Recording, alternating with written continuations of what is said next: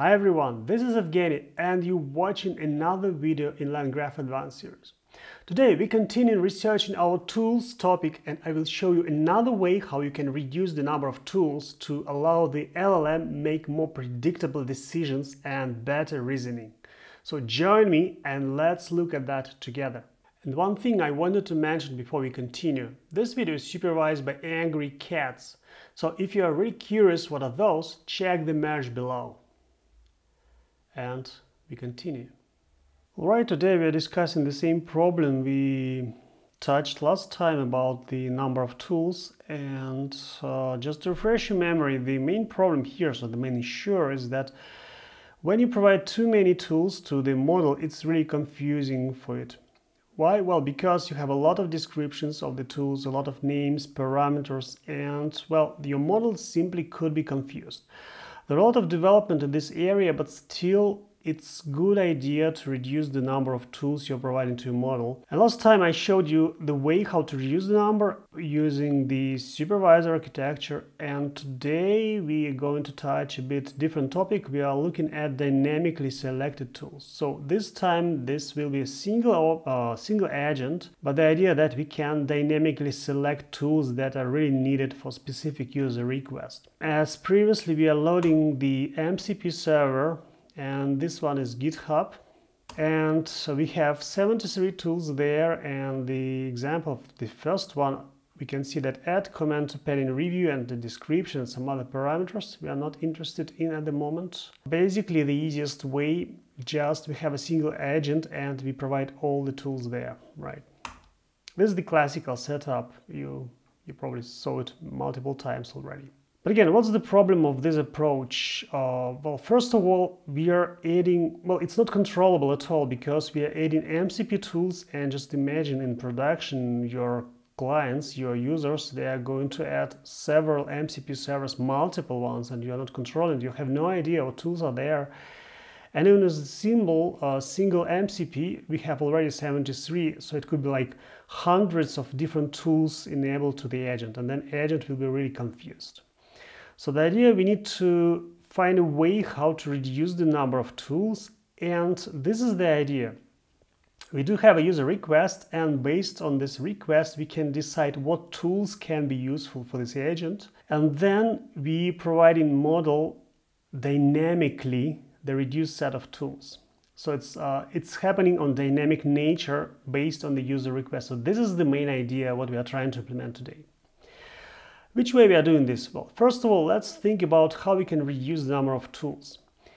And this is pretty easy.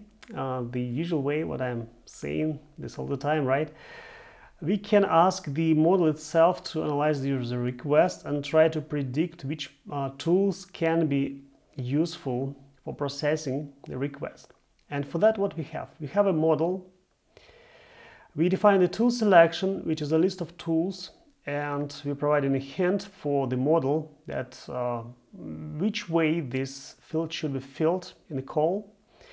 We have the structured output model using this tool selection and then we're defining the function that will be responsible for providing a list of tools. And here we are saying that uh, practically you're a tool selector agent and based on the user query and available tools provide us maximum tools that can be useful for this uh, use case. And then we are making an invocation of the model and returning tools back.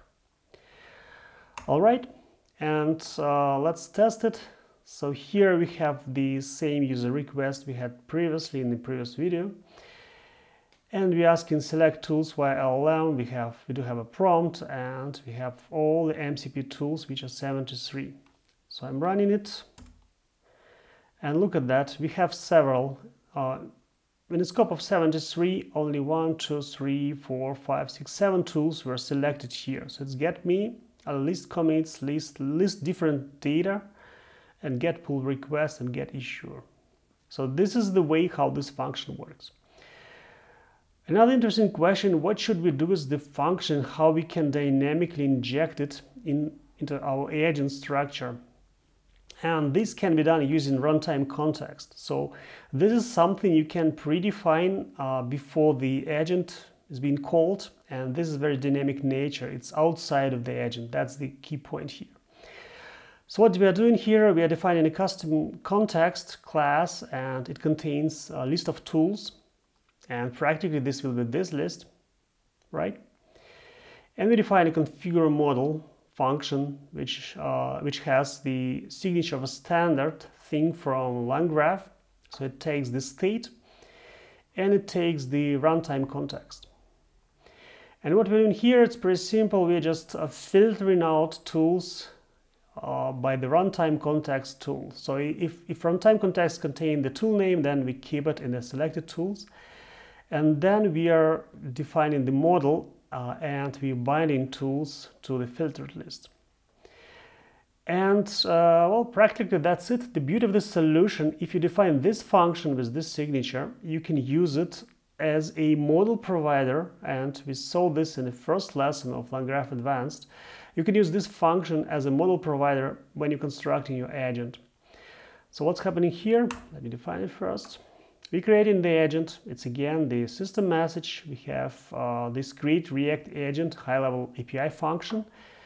We're defining all the tools still, right? Because this is standard, like it's kind of fixed already. But as a model, we define the name of our uh, function. And this is really beauty because if you think about that, the way how it works, it's kind of uh, two things at the same time. And one, uh, if I scroll, oh, let me compile this one maybe, and I will explain it to you. So what's happening here, when we define the tools to MCP tools, so here, this node of tools, it knows about all the tools, like it could be hundreds, thousands even, right? But at the same time, it doesn't, uh, doesn't hurt us at all because the model itself knows about only a restricted set. So what's happening here, a model knows about like seven functions or seven tools, and so it can invoke the tools only in list of the seven, ignoring all the thousands that tools is aware of. So this is the beauty of the core of the solution here. All right, so what do we have? We have uh, again model, we have our function configure model here, which we defined, and it returns the model binded to a filtered set of tools, and the rest is the same. That's pretty easy, right? This is the, the, the core uh, technique how you can uh, use these dynamically selected tools. Which way we can run it? Let's go to the testing and here we have a user request. So first step we have to define the select tool names based on the user request and all the tools you have. Then we are creating a custom context with the filtered list of tools and finally, we make an invocation for an agent. And here, the second parameter here is a context. And then we need to provide this runtime context. Right? So the agent stays the same all the time. The only difference is that you provide in different runtime contexts based on the situation. And practically that's it. Alright, then the output is pretty standard for our use case. We have a request, we have immediately tool call to getting me information about myself, then list comments, and then based on that information, the model was able to produce a report. But again, this is another way how you can dynamically reduce the number of tools based on your specific use case. Alright, this is the end of the video and I hope that you found something interesting and new for you.